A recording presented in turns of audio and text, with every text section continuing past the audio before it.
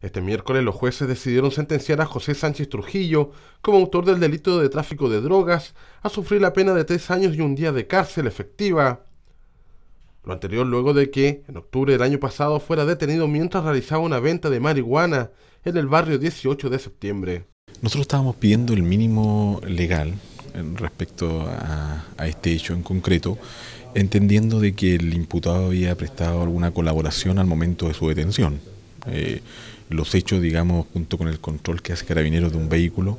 el imputado presta una declaración y manifiesta también de manera voluntaria de que en el interior de su domicilio se encontraba eh, la, droga, droga que ya se le había eh, detectado al momento de la revisión del vehículo y también de la vestimenta, pero era una cantidad menor. La gran cantidad de droga fue encontrada en el interior de su domicilio. Los hechos por los que fue enjuiciado Sánchez se remontan a la madrugada del 7 de octubre, cuando en calle Juan Martínez de Rosas, la policía lo observó mientras entregaba una bolsa a un vehículo que permanecía estacionado, quedando así al descubierto la transacción, incautándosele en ese momento 27 gramos de cannabis, además de una dosis de clorhidrato de cocaína.